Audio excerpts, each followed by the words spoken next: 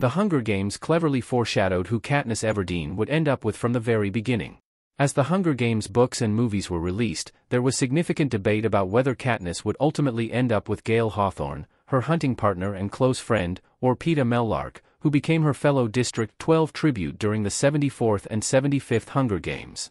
This love triangle proved to be one of the many elements that garnered widespread interest in the dystopian series.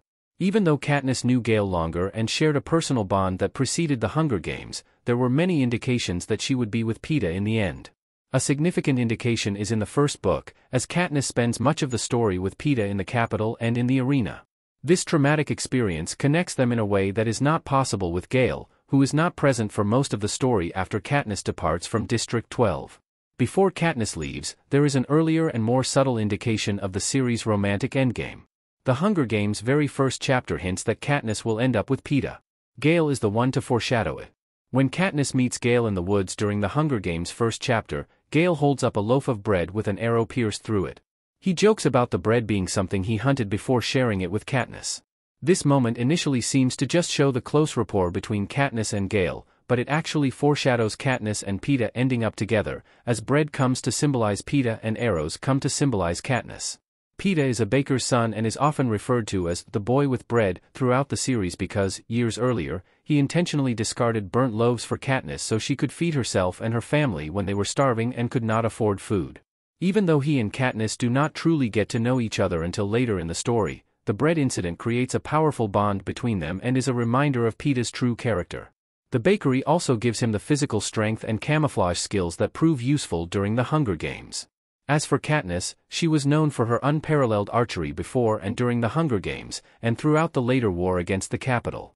The arrow in the loaf, therefore, is meant to serve as a symbolic foreshadowing that Katniss and Peeta are meant to be together.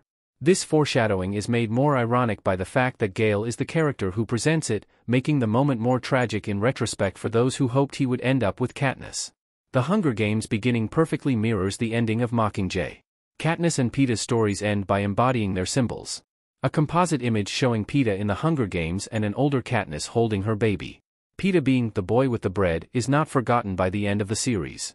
In Mockingjay's final chapter before the epilogue, Katniss explains how she and Peeta learn to cope with the many traumas they have endured by staying busy, with Peeta primarily baking and Katniss primarily hunting, returning to their strengths and the original symbols that define them.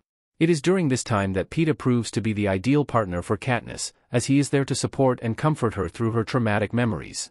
The Hunger Games begins with an arrow and a loaf of bread joined together, and ends with the boy with the bread and the archer in a romantic relationship that works well. The series comes full circle as both Katniss and Peeta return to their roots and finally get to explore who they are in a world that is not governed by the Capitol and the yearly threat of the Hunger Games.